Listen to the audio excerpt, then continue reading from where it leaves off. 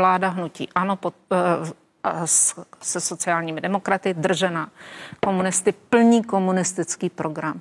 To tam bylo řečeno, paní předsedkyně Vostrá rozpočtové výboru řekla, že je velmi spokojená, že po všech těch jednáních, že handlovali, že napřed chtějí nižší schodek státního rozpočtu, ale pak se jim podařilo teda udělat to tak, že vlastně vláda bude plnit jejich program a proto se pod něj mohou podepsat. A tím z toho, chválíte komunisty nebo z toho, to znám, ne, se přiznám, z toho mě běhá mráz po zádech.